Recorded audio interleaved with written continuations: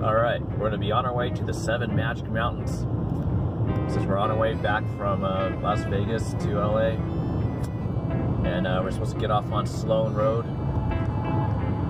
Coming up right here, exit 25. I think if you're coming north to Vegas, you get to exit at Jean. So here we go. We'll see what the big deal is with these seven magic mountains. All right, let's make a left.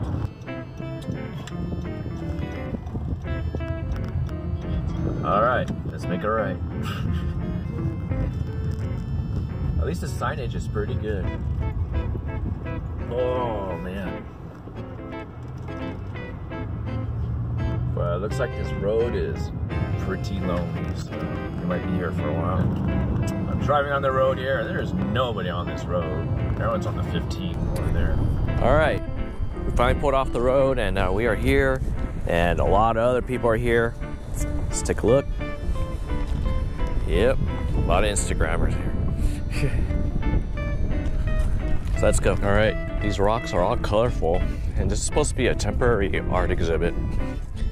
It's called the Seven Magic Mountains. If you count them all, there's one, two, three, four, five, six, seven.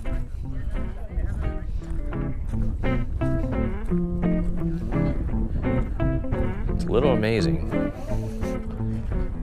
Sort of like in the middle of nowhere. These seven magic mountains.